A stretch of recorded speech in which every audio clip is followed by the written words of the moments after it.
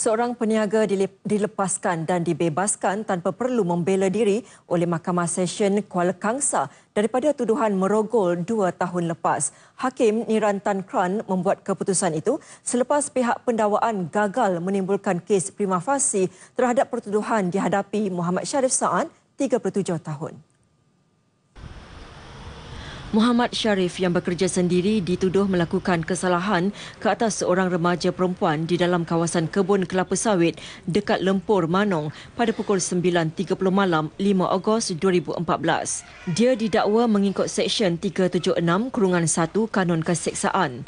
Sepanjang perbicaraan, pihak mahkamah mendapati sebahagian kes hanya bergantung kepada keterangan mangsa serta tiada sokongan. Malah keterangan yang diberikan juga tidak konsisten tiada kredibiliti dan wujud percanggahan yang material. Pendakwaan dikendalikan Timbalan Pendakwa Raya Nazratul Natra Muhammad Yusof manakala Muhammad Sharif diwakili Peguam Ahmad Syamil Azad Abdul Hamid.